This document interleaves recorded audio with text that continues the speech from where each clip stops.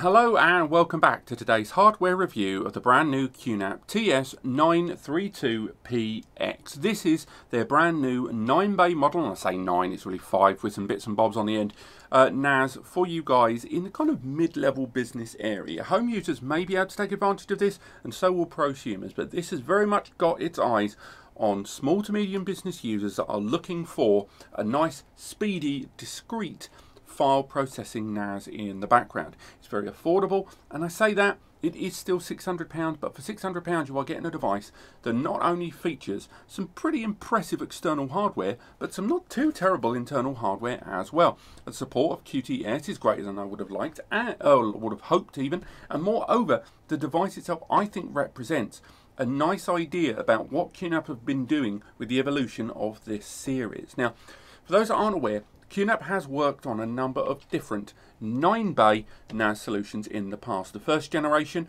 um, a couple of years ago, the 932, the 963 and the 951X, all of them arrived with a few extra bells and whistles, all dis, you know, slight distinctions between them. And this device is the one that arrives with, in their latest generation, a 64-bit um, A95, uh, A57 Cortex CPU, which is an ARM 64-bit processor, quad core at 1.7 GHz. This CPU also supporting DDR4 memory with 4 gig by default, all the way up to 16 when you need it.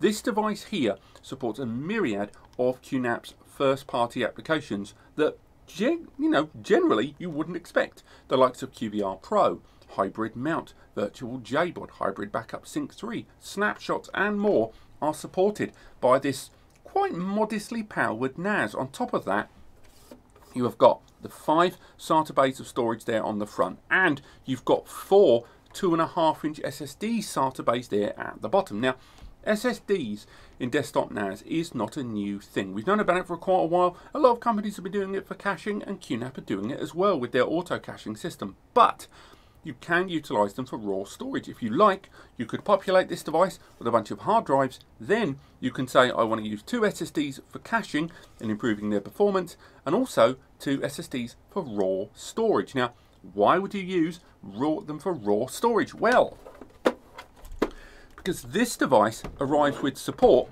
of both 10 GBE over two ports, so up to 20 GBE link aggregation, and 2 times 2.5 GBE port, so 250 meg or combined for up to 500 meg transmission. Now, you can create a very bespoke network environment. You can, if you like, utilize these ports independently for different networks for a failover, or use them on the same network with a supported lag switch to have link aggregation.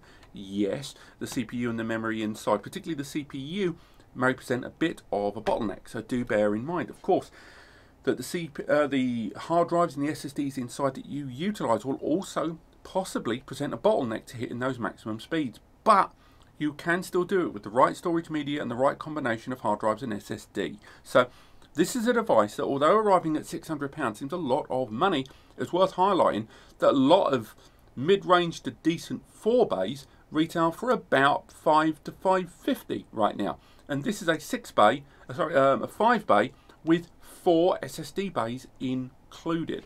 And this device, with an external output that is pretty impressive and the ability to utilize hybrid storage built in, will remove a lot of the internal and external bottlenecks from your uh, network environment. But you have to bear in mind this is not a perfect machine. That CPU is designed to be affordable and for being a file processing CPU. QTS has a number of very key file management applications, FileStation, Qsirch, QFiling, and a bunch of multimedia tools like uh, Multimedia Console, QuMagie for AI-powered photo recognition, and the standard photo, music, and video station apps. But this is not a GPU enforced NAS. It doesn't have embedded graphics. It doesn't have a transcoding engine. And although that CPU can use some raw power to do it, it's still an ARM based CPU, which will always present a bit of a bottleneck. So bear in mind, what you're getting right now is a file processing NAS. It's there in the background to uh, micromanage backups or present itself as an intelligent mounted drive or iSCSI for another third-party system. So bear that in mind. Utilizing this as your primary NAS in anything more than day-to-day -day file handling without the bells and whistles, you're probably going to come away disappointed. The 10 GBE, if this was Intel powered, this would be a beast of a NAS if it was an Intel powered CPU.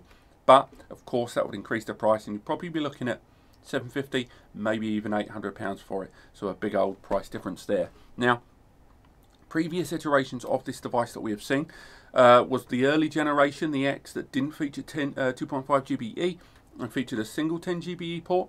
Then you had the 5 GBE variant where they swapped out the 10 for the 5. It's only in this iteration that we're seeing a much, much better uh, middle ground between the 10 and that 2.5 GBE all on the same device. Now, it doesn't have HDMI, doesn't have any of the HD out sort of stuff, so KVM setups for surveillance aren't going to be possible. You need to focus on file management. Utilize Virtual JBOD if you want to turn this storage to something accessible and fast elsewhere, or use hybrid mount to port available storage from cloud um, uh, services and other NAS services using the Cloud Gateway tool and present further storage that this can work with, both in terms of backup with Hybrid Backup Sync 3 and general file management.